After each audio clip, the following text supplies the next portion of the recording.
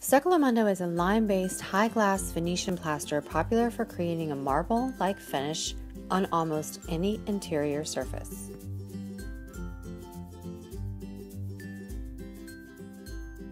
You will first need to apply the Meoded Quartz Primer. Watch the primer video for proper application. Let the quartz primer dry for a minimum of 5 hours before adding plaster. With a stainless steel trowel, apply the first coat of Stucco Lamundo. This is the first coat of the three-coat Lamundo process.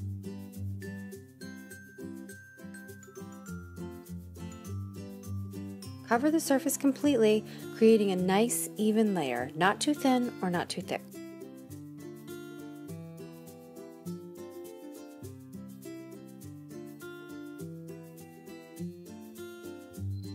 Wait a minimum of 10 hours to dry. With only a little bit of material on the trowel, apply the second coat. Work in square yard sections. You put material on the surface and you clean. Put and clean, repeating this action over and over.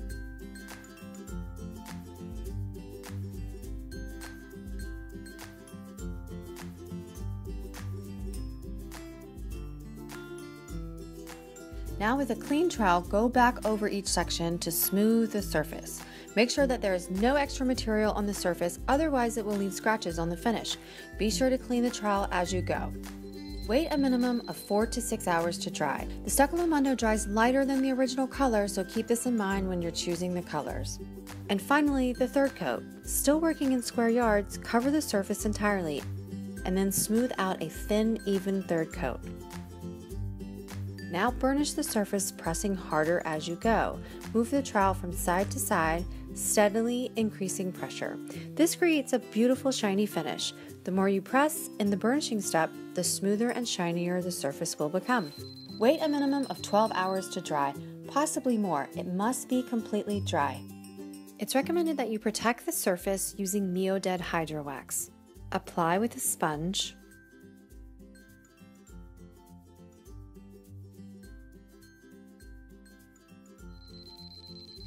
Wait 5 minutes and buff the surface by hand with a clean rag or use a machine. Meoded Hydro Wax provides a high sheen finish that protects the surface while making it more washable and adding more depth and enlivening the surface. You also have the option to add a colored metallic powder to the Hydro Wax in order to achieve the metallic Venetian plaster look.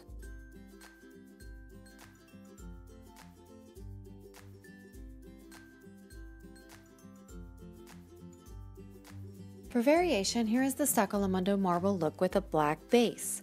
Apply the Hydro Wax with a sponge. On the left side, we applied a clear wax sealer first before adding the Hydro Wax. The clear wax sealer seals the surface first. If you don't do this, the areas where you burnished will catch more of the Hydro Wax, making those areas more shiny and therefore uneven. The Stucco Lamundo black marble finish brings a cool sophistication to any interior room.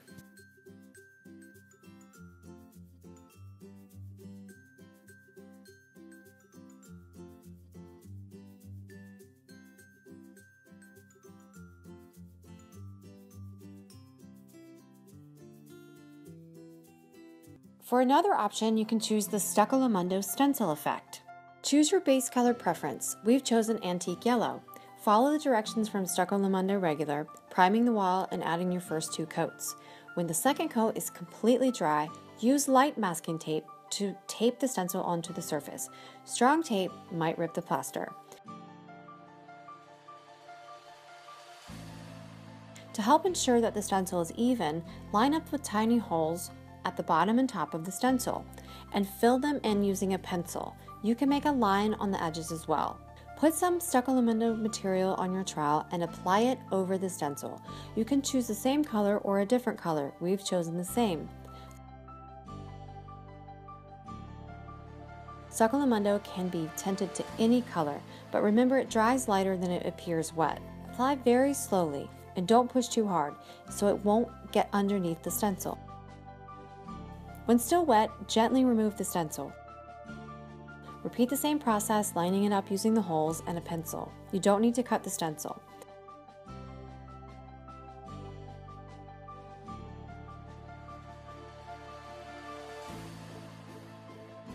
Once you've covered the entire area that you wish to stencil, wait a minimum of 12 hours to dry. After the stenciled coat is completely dry, check the smoothness of the surface. If it's not completely smooth, sand it a little bit by hand or machine. Don't forget to clean the dust off with a clean rag before applying the next coat of Stucco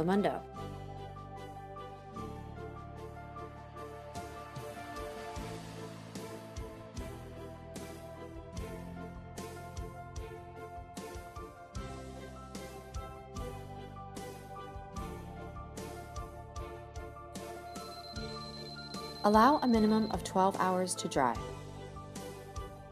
Once completely dry, apply another thin coat of Stucco Lamundo, a little bit at a time.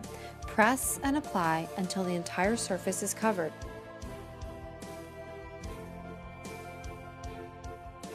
Be sure to clean the excess material off of the surface with a trowel as you go.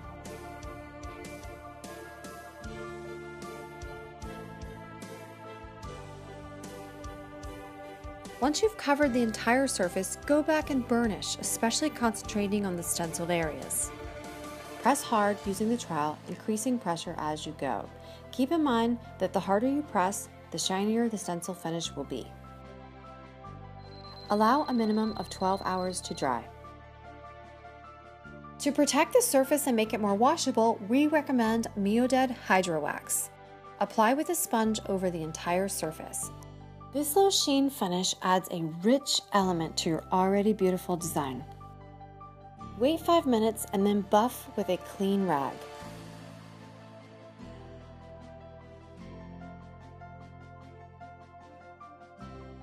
Stucco stencil provides a delicate design with a rich and beautiful finish for your treasured interior rooms.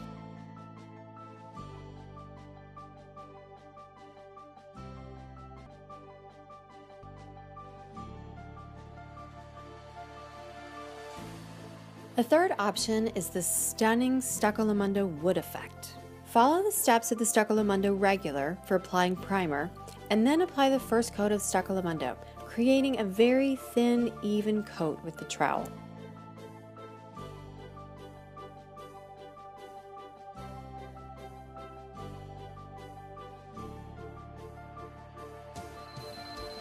Allow a minimum of 12 hours to dry. Next, using the trowel and putty knife, put material on the trowel and slowly apply it in a sliding vertical motion, creating a very thick and rough texture.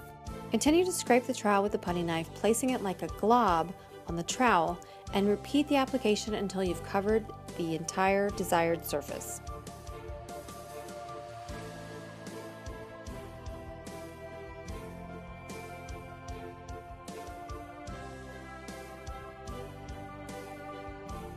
Go back over any areas that appear light on material and apply more plaster.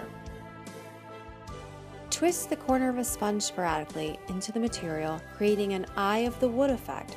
For authenticity's sake, spread this effect out across the surface. For an extra effect, dry some areas of the texture quickly with a dry gun or even a blow dryer. The sudden heat cracks the textured material, creating an aged, cracked wood effect. Now spray water onto the texture and move a clean paintbrush in an up and down motion, gently blending and smoothing the texture.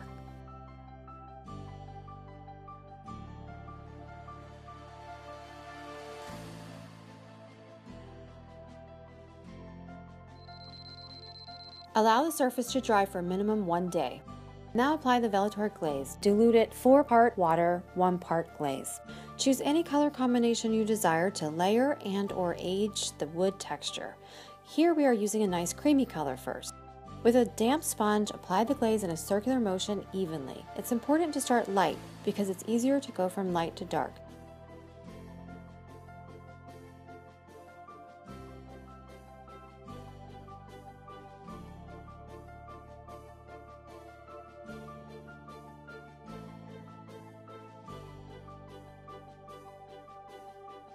Now go back with a sponge and add another coat.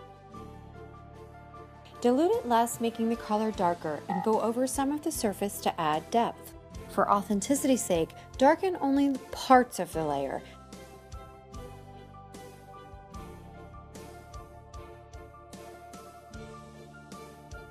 Now we're adding black hydro wax to darken and age the texture even more. Apply then clean the extra hydro wax. If you feel it's too much, add water with a spray bottle, clean it, and start again. On large surfaces before applying color glaze, it's recommended that you first apply a clear Velour glaze, dilute it 4 part water, 1 part glaze, to seal and protect the surface first.